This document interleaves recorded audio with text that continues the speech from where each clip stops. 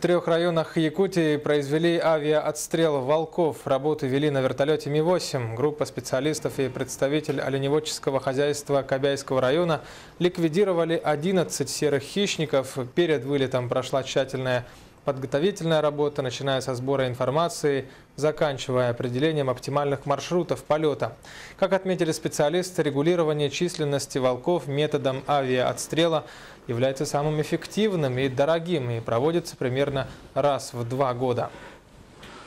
А На сегодняшний день травеж э, домашних оленей волками э, за 2016 год составляет около более 6 тысяч домашних оленей и около 200 голов лошадей. Но так как в горно-таежной части в связи с удаленностью и трудностью а, охоты на волков наземным способом, установкой капканов и э, ну, значительная удаленность от населенных пунктов, это единственный наиболее эффективный, несмотря на свою дороговизну, эффективный способ регулирования численности волков –